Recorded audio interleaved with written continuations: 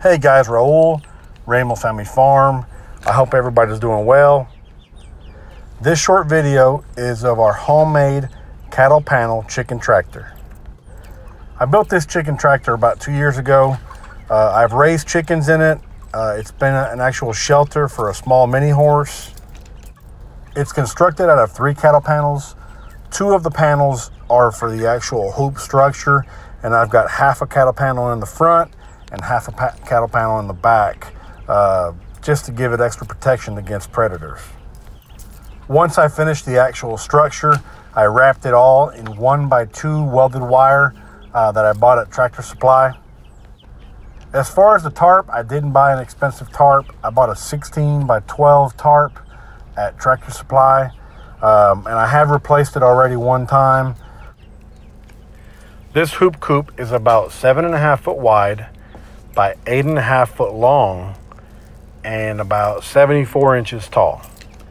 Uh, not really any specific measurements. I just wanted to make it where I could walk in and not hit my head. I'm about 5'10, so I've got plenty of space. Like I said, it's a couple of years old. Um, I probably need to go ahead and change the wheels out. Uh, it's on some uneven ground, so it's giving me a little bit of a hard time pulling it and I'm kind of going slow so uh, I don't hurt the chicken's feet. Uh, I move it a little bit and make sure they're good and just enough where I'm on a new patch of grass. These girls are about seven to eight weeks old.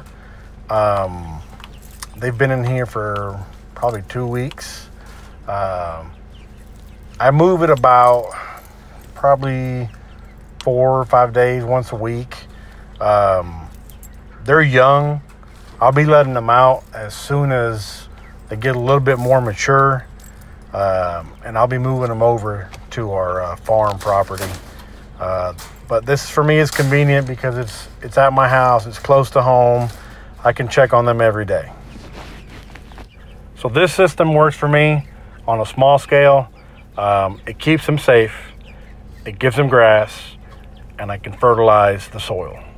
Uh, once I move them, I go ahead and reseed that area and the grass will grow back. Um, and even if I don't reseed it, it will still grow back um, better than what it was before. On a side note, uh, that bucket with the red lid is their water. Um, I installed four watering nipples um, on the bottom of the bucket where they can come up peck on them, drink water, and the water stays clean. Um, clean water is important, keeps them healthy, and it's less work for me. It's one less thing I have to do every day. I don't have to clean the water every day. I just have to refill it with a hose. Thank you guys again for watching. Um, I really appreciate your support with the channel.